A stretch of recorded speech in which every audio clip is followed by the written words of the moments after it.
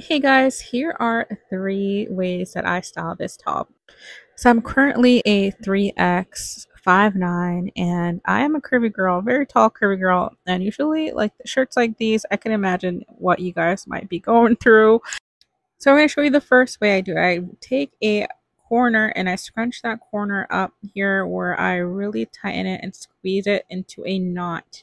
And as I'm squeezing it, I'm pulling at it in a way so that I could have it scrunched in so I could tuck it away when I secure the knot. So here we are. So, and then I secure the knot by tucking it away.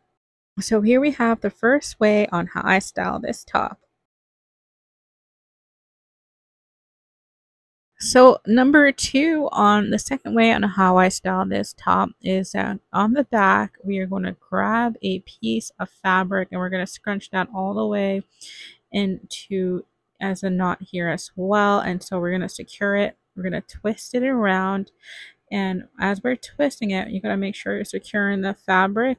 And as we're doing a knot here we are going to be tightening it securing it and then we're going to knot it into place so we scrunch it back there as well.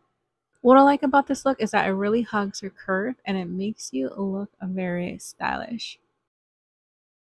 If you have a harder time securing it, I suggest using a elastic so that you could secure it and that way you're able to just have it tied in place.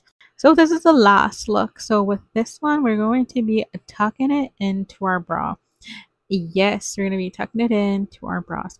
So this is one of the trends that I've been seeing a lot on TikTok and Instagram. You ever see influencers that look very tucked in with these crop top shirt design and this is a way they do it. And I was absolutely blown away when I found it out because it is so easy to do and just organize it and just make it feel comfortable to your liking and here we are let me know what look you'll try in the comments down below and make sure to follow. And thanks for watching.